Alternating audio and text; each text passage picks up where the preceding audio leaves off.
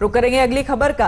अभी बुलंदशहर हिंसा के सवालों ने योगी सरकार का पीछा भी नहीं छोड़ा। कि इसी बीच गाजीपुर में भी एक ऐसी ही वारदात हुई। पत्थर उठाए भीड़ ने एक सिपाही की जान ले ली।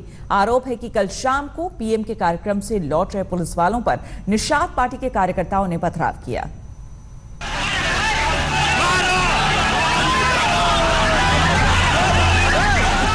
ये गाजीपुर में हुए बवाल का चौंतीस सेकंड का वीडियो है। गुस्से में पागल भीड़ बार बार मारो मारो चीख रही है। दस बीस नहीं, सैकड़ों की भीड़ दिख रही है। सड़क पर बिखरे पत्थर, खूनी हिंसा की गवाही दे रहे हैं। इसी भीड़ में मौजूद लोग सड़क से पत्थर उठाकर फेंकते दिख रहे हैं।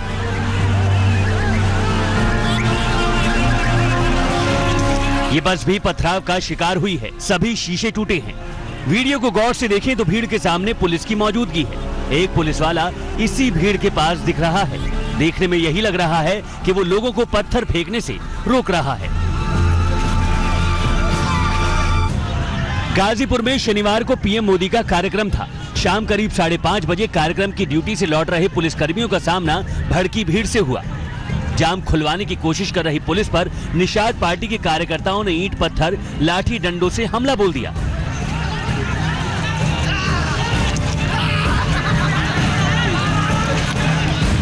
इसमें सुरेश प्रताप वत्स नाम के सिपाही को गहरी चोटें आईं और उसने अस्पताल पहुँचने से पहले ही दम तोड़ दिया। सर का फ़ोन आया था एसओ सर का।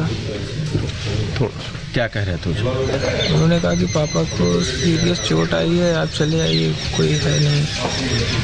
तो पहला फ़ोन आया तो हम उसी को बार बार फ़ोन किए तो उन्होंने बताया कि फिर बाद में धीरे धीरे बताया कि पापा की डेथ हो गई। पुलिस के मुताबिक निषाद पार्टी के कार्यकर्ता आरक्षण के लिए धरना देना चाहते थे।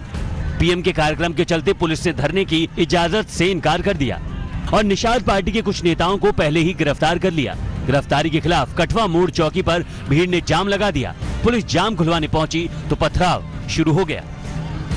हमले में सिपाही की मौत के अलावा कुछ पुलिसकर्मी जख्मी भी हुए। वारदात में अपने साथी को खोने वाले सीओ महिपाल पाठक मीडिया से बात करते हुए भावुक हो गए। तो हम लोग का, काफ़ी प्रयास किए सम, सम, समझाया बुझाया गया लेकिन वो लोग माने नहीं। या फिर उस, उसके बाद ईट पत्थर लेके चलाने एक बार की लाठी डंडा ईट पत्थर।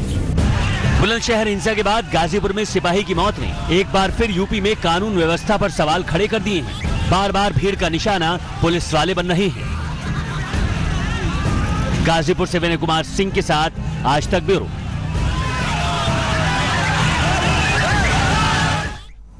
और गाजीपुर हिंसा में पुलिस ने डेढ़ सौ से ज़्यादा लोगों के खिलाफ एफआईआर की है। 11 लोग गिरफ़्तार हुए हैं। गाजीपुर हिंसा पर विपक्ष योगी सरकार को घेर रही है। निषाद पार्टी का आरोप है कि साजिश के तहत हिंसा बीजेपी ने भड़काई है।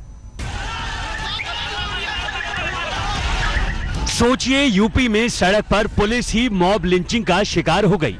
तो जनता की सुरक्षा कैसे होगी? तस्वीरों से साफ़ है, भीड़ के मन में कानून को लेकर कोई खौफ नहीं है।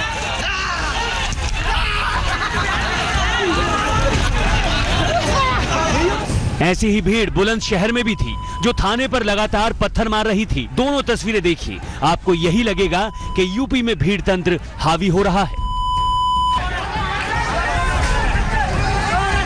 सत्ता में आते ही मुख्यमंत्री योगी ने अपराधियों को चेतावनी दी थी कि वो सुधर जाएँ या जेल जाएँ।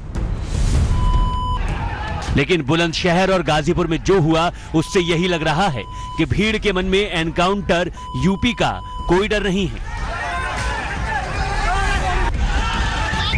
गाजीपुर हिंसा का आरोप निषाद पार्टी के कार्यकर्ताओं पर लग रहा है लेकिन पार्टी इससे इनकार कर रही है। उसे दुखद है और उस पर उच्च स्तरीय जाँच होना चाहिए। हमारे सिपाही हमारे कार्यकर्ता इस तरीके हो ही नहीं सकते। अहिंसा के पुजारी हम लोग संविधान को गीता और कुरान मानते हैं। सिपाही की मौत का मामला पिछड़ी जाति के आंदोलन से जुड़ा है लिहाजा राजनीति भी शुरू हो गई है। मैं ये ज़रूर मानता हूँ कि सरकार को भीड़ तंत्र को काबू में रखने का काबू में लाने का प्रयास करना चाहिए और अपने भारतीय जनता पार्टी को अपने उन नेताओं को काबू में करना चाहिए जो किसी भी तरीके से भीड़ तंत्र को बढ़ावा देते हैं। योगी सरकार ने मृतक सिपाही के परिवार को 50 लाख मुआवजा और एक सदस्य को सरकारी नौकरी का ऐलान कर दिया है। मामले की जाँच के आदेश दिए हैं। गाजीपुर से विनय कुमार सिंह के साथ आज तक ब्यूरो। लेटेस्ट खबरों के लिए यू ही देखते रहिए आज तक। और इस वीडियो के पसंद आने पर लाइक शेयर एंड सब्सक्राइब करना ना भूलें।